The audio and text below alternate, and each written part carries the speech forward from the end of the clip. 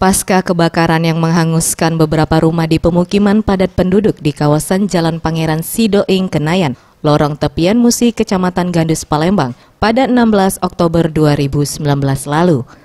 Berbagai bantuan dari berbagai instansi pemerintah maupun pihak swasta sudah ada di lokasi, mulai dari pakaian bekas, obat-obatan hingga makanan dan air minum kemasan sudah dibagikan kepada para korban terdampak kebakaran untuk meringankan beban mereka. Mengingat tidak sedikit dari para korban yang bahkan tidak sempat menyelamatkan harta berharga. Hal tersebut dijelaskan oleh Mas Suya, salah satu korban terdampak kebakaran. Yalah, yang tempat tempat kami itu banyak lah ngeluar ke itu bantuan nih. Kayak baju-baju bekas itu ya. Pemerintah sudah Bu ya?